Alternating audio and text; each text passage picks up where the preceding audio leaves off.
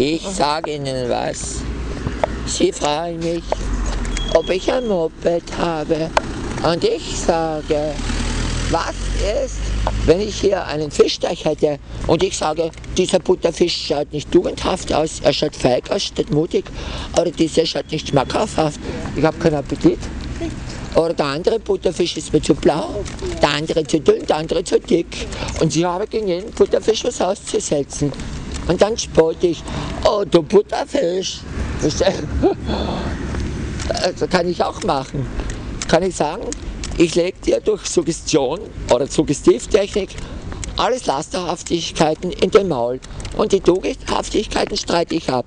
Ich sage, du bist keine tapfere Elefantenmutterkuh mit schönen Küchenkindern, sondern ich sage, du siehst etwas ungeschminkt aus. Du bist zu grau, kann ich auch sagen. Ich kenne deine Mutterrolle nicht an, obwohl du eine brave Elefantenkuh bist, sage ich, äh, du bist nur grau.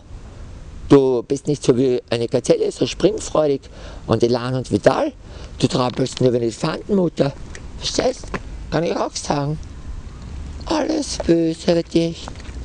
Und ein guter Mensch erkennt aber die guten Seiten auch an. Der lobt manchmal den Menschen, gell? Sie haben mir einen Schlüssel stecken. Danke. Sie sind nett. Danke. Und so sei Danke. Die Dame hat mich erinnert, ich brauche meinen Schlüssel.